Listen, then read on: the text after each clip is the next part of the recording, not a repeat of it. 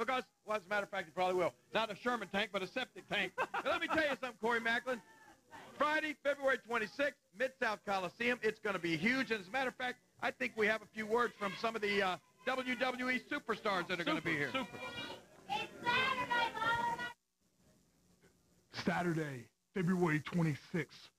Corey Maclin, you asked for a war.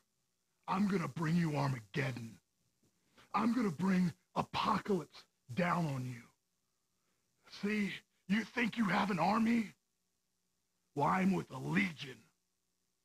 I am with Lawler's army. And we're going to bring hell with us.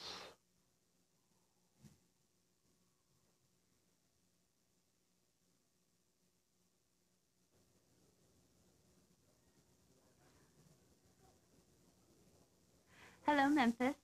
I'm Maria from the WWE. And Saturday, February 26th, I'm going to be at the Mid-South Coliseum, going to give somebody the ride of their life by giving them the keys to a brand new car.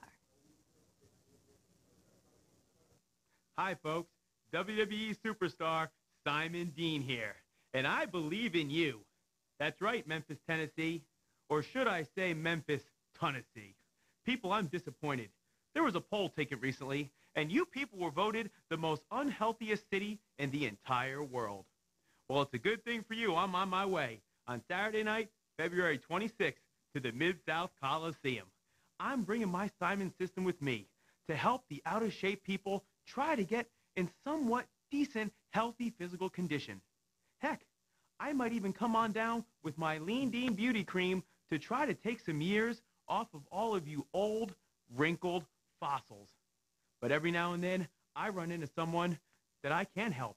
Someone who's so old that I actually have to come down with the hands-on approach.